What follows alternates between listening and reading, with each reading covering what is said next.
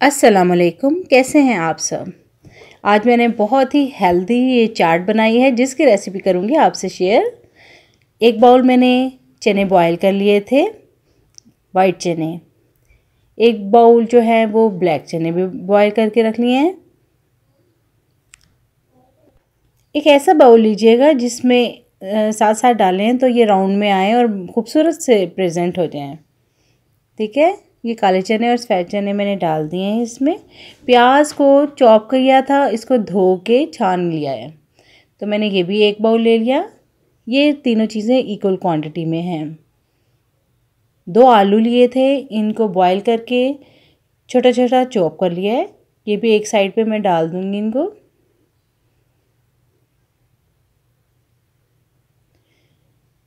साथ में मैंने खीरे भी कट करके रख लिए हैं। और एक बड़ा टमाटर भी काट लिया है। एक बाउल जितने मैं खीरे इसमें डाल देती हूँ एक साइड पे।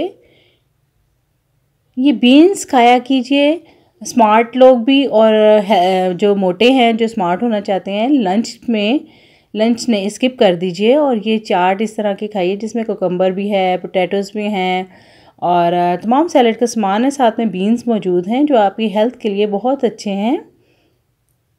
लास्ट में मैं इसके ऊपर मकई के दाने मैंने बॉईल करके रख लिए हुए हैं, आधा बाउल इसके ऊपर स्प्रेड कर दूँगी. अगर आप लोग पसंद नहीं करते तो इसी तरह भी खा सकते हैं.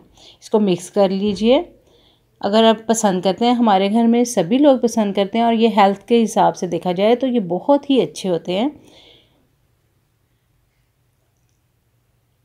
मैंने इसको स्प्रेड कर दिया है. अगर आप लोगों ने किसी स्पेशल गेस्ट को ये सर्व करना है तो उसको इसी तरह कर दीजिए मिक्स नहीं करें, ऊपर मसाले डाल के। वैसे मैं तो मिक्स करूँगी इसको, और जब अच्छी तरह से मिक्स हो जाएगा तो इसमें एक चम्मच मैं सॉल्ट की ऐड कर दूँगी। आप एक चम्मच नमक के बाद इसमें एक चाट मसाले के चम्मच भी ऐड कर दीजिए अगर आप लोगों के पास लेमन है तो वो भी एक दद इसके ऊपर निचोड़ लीजिए। किसी भी एक्स्ट्रा चीज़ की इसमें ज़रूरत नहीं है। हेल्थ के हवाले से देखूँ तो ये बहुत ही हेल्दी है। आप लोग ज़रूर ट्राई कीजिएगा और आ, हम लोग वीकेंड पे ज़रूर बनाते हैं। लंच के तौर पे ज़रूर खाते हैं। आप लोग भी ट्राई कीजिएगा और मुझे कमेंट्स बॉक्स में ज़रूर बताइएगा कि आप लोगों को कैसी लगी मेरी हेल्थ के हवाले से रेसिपी। अगर आप लोग चाहें तो इसके ऊपर दही भी शामिल कर सकते हैं। मैंने चटनी बना ली और दही में शामिल कर ली है। और अभी ट्राई करती हूँ मैं। आप भी बनाइएगा और कमेंट में ज़रूर बताइएगा। दुआओं में याद रखिएगा। Stay connected by